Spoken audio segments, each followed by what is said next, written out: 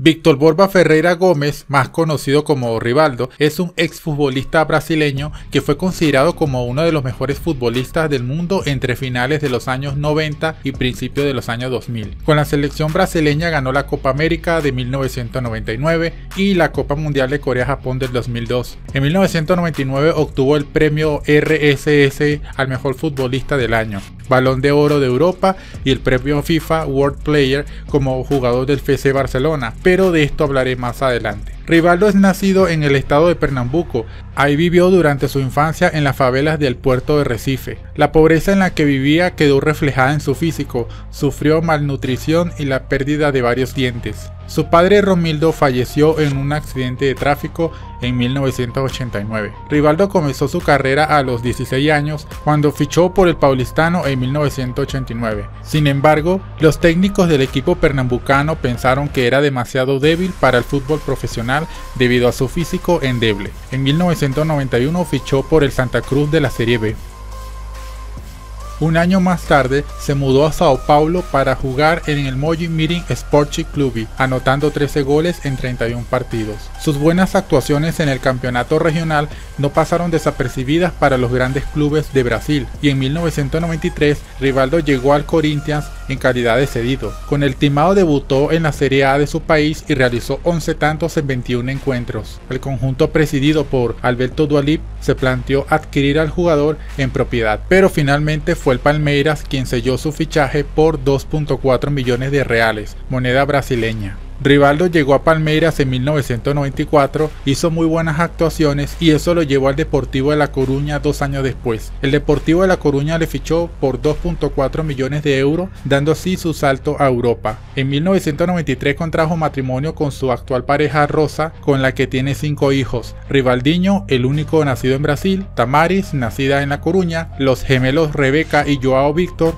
e Isaque, estos tres nacieron en Atenas el 31 de agosto en su debut como culé en la primera jornada de la liga realizó un doblete en la victoria de su equipo ante la Real Sociedad por 3 a 0. En su primera temporada en el Barcelona anotó 19 tantos en 34 partidos, convirtiéndose en el segundo máximo goleador de la temporada, en la que el equipo azulgrana consiguió el doblete de la liga y la Copa del Rey. En 1999 el equipo volvió a ganar la liga en la que Rivaldo anotó 24 goles, ese mismo año, Rivaldo fue galardonado con el Balón de Oro y el FIFA World Player. Rivaldo jugaba en las posiciones de delantero o mediapunta. Era un futbolista zurdo dotado de una técnica exquisita, gran habilidad en el regate, potente remate y una gran facilidad goleadora. A pesar de retirarse profesionalmente en el 2013, regresó a las canchas para poder ayudar deportivamente al equipo del que es propietario, el Moji Meeting Sports Club, debido a los malos resultados. Se retiró definitivamente en el año 2015. Fue un especialista en el lanzamiento de faltas y penaltis. Su infinidad de recursos como la Rabona o la chilena lo convirtieron en un jugador imprevisible. Rivaldo debutó con la selección brasilera el 16 de diciembre del año 1993 en Guadalajara ante México. Anotó el único gol del encuentro en el minuto 18 de la primera parte y en 1996 fue seleccionado como uno de los tres jugadores mayores de 23 años para representar a Brasil en los Juegos Olímpicos de Atlanta. El combinado brasileño tenía en sus filas a jugadores de la talla de Dida Ronaldo, Bebeto, Roberto Carlos, por lo que eran los claros favoritos para conseguir el oro. Tras sufrir una inesperada derrota ante Japón en el primer partido, la canariña avanzó hasta semifinales donde fue eliminada por Nigeria, con gol de oro en la prórroga después de ir ganando 1 por 3, a falta de 10 minutos para el final del tiempo reglamentario. Brasil consiguió el bronce tras imponerse a Portugal 5 por 0. Rivaldo fue uno de los señalados por la derrota ante el conjunto africano y estuvo más de un año sin ir con la selección perdiéndose la Copa América del año 97. Su regreso a la selección absoluta tuvo lugar en Salvador el 10 de septiembre del año 97, ante Ecuador, disputando 70 minutos en la victoria de Brasil 4 por 2. Ese mismo año fue incluido en la lista de Mario Zagallo para la Copa Confederaciones celebrada en Arabia Saudí en el mes de diciembre. Rivaldo participó en los dos primeros encuentros de la fase de grupos ante la selección anfitriona y Australia. Brasil se proclamó campeón del torneo derrotando al equipo australiano por 6 a 0 en la final. Tras ser el segundo máximo goleador de la liga anotando 19 tantos con el Fútbol Club Barcelona en la temporada del 97-98, fue convocado para la Copa Mundial de Francia de 1998. Anotó un total de 3 goles, uno a Marruecos en el segundo partido y dos en cuartos de final contra Dinamarca. También fue decisivo en la tanda de penaltis en semifinales ante los Países Bajos, donde transformó el segundo de los lanzamientos que le dieron al pase a la final de su equipo Brasil.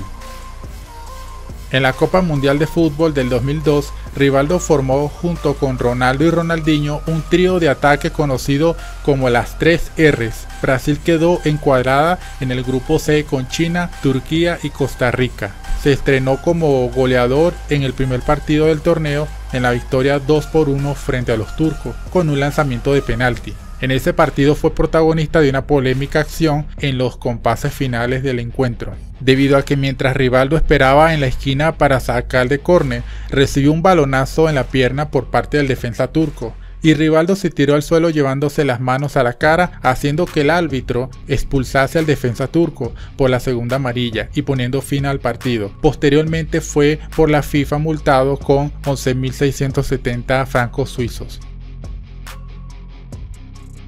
Volvió a marcar en los siguientes encuentros ante China y Costa Rica. Frente a Bélgica en octavos de final, abrió el marcador del partido que finalizó 2 a 0 a favor de la Canariña, consiguió anotar por quinto partido consecutivo en los cuartos de final ante Inglaterra, tras eliminar a Turquía en semifinales, Brasil derrotó a Alemania en la final por dos goles a cero, en donde Alemania tenía el trío de los tres Oliver, Oliver Kahn, Oliver Bierhoff y Oliver Neville, ambos obra de Ronaldo. Tanto Rivaldo como Ronaldo y Ronaldinho fueron incluidos en el equipo de las estrellas del Mundial. Su último partido con la selección brasileña fue el 19 de noviembre del año 2003 ante Uruguay. De ahí en adelante, Carlos Alberto Ferreira no lo convocó más, lo cual hizo que Rivaldo perdiera su oportunidad de representar a Brasil en el Mundial de Alemania del 2006.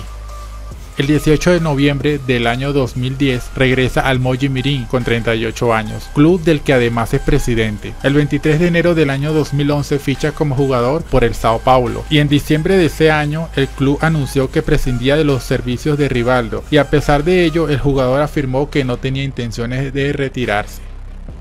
El 22 de enero del año 2014, a sus 41 años, Rivaldo volvió a las canchas para defender al club Moji Mirin durante la segunda fecha del campeonato del estado de Sao Paulo y el 20 de febrero cumplió con su deseo de jugar con su hijo Rivaldiño de 18 años en un partido del campeonato paulista. Casi un mes después de dicho encuentro, el 15 de marzo, Rivaldo anunció en su cuenta de Instagram que se retiraba de la práctica del fútbol. Sin embargo, el 22 de junio del 2015, Rivaldo decide jugar al fútbol a la edad de 43 años y después de haber colgado las botas y en julio del 2015 anotó de penal para Moji Miri Sporting Club, partido en el que su hijo Rivaldiño también marcó. El zurdo anunció su retiro del deporte que le dio todo. El 16 de agosto del 2015 su última función fue de manera definitiva. Rivaldo junto a Ronaldo y Ronaldinho formaron parte de uno de los tres mejores ataques de la historia del Brasil. El hecho de que uno de estos tres monstruos del fútbol estuviese en cancha hacía que su equipo se volviera favorito. Ahora imaginen tenerlo a los tres juntos, por eso es que era imposible que Brasil no ganase un mundial con ellos. Así que habiendo visto la historia de esta leyenda brasileña, déjanos en los comentarios qué te pareció la trayectoria de este gran futbolista, ¿pudiste disfrutar de sus golazos? Déjanoslo saber en los comentarios.